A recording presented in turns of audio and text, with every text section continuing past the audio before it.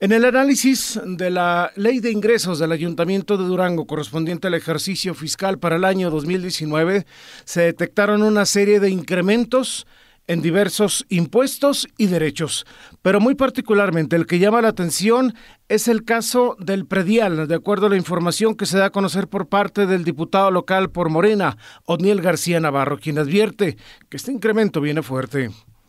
Hay incrementos, te pongo un ejemplo del 6.6% para el impuesto predial más, hay algunos conceptos que no estaban antes y van a cobrar y el próximo martes estaré fijando mi postura ah, cuando se suba a discusión del Pleno eh, de qué pasa. Pero ahorita lo que yo estoy buscando es que el municipio explique ¿Por qué se hace un anuncio de que no va a haber aumentos y lo estamos viendo perfectamente que sí los hay? Es otro de los incumplimientos porque recordemos que dijo que en su campaña que no iba a haber baches en Durango, los encerraba y desafortunadamente lleno de baches dijo que después de su visita y su gira a China que iba a haber una armadora china en Durango y hasta la fecha no la vemos. Pero además sustenta en los comparativos realizados con el ejercicio 2018 que actualmente está en curso,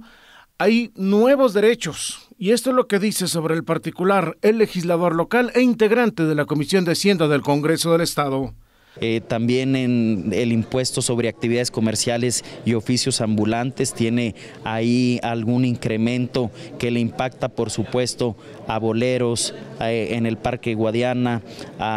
en el concepto de vehículos automotor. Lo estamos desglosando, lo estamos revisando, por eso me gustaría compartírselos adecuadamente el próximo martes. Si quieren les comparto ahorita alguna información, pero el posicionamiento lo voy a fijar el martes que entre en tribuna de por qué estoy en desacuerdo, porque hay una serie de aumentos ahí que se han dado. Dijo que será finalmente el próximo martes cuando pase al Pleno del Congreso del Estado para que se discuta y en su caso se apruebe esta ley de ingresos del Ayuntamiento de Durango que dijo en lo particular él va en contra toda vez que el incremento previsto por parte del Ayuntamiento de Durango va más allá de la tasa que se espera de inflación para el año 2019.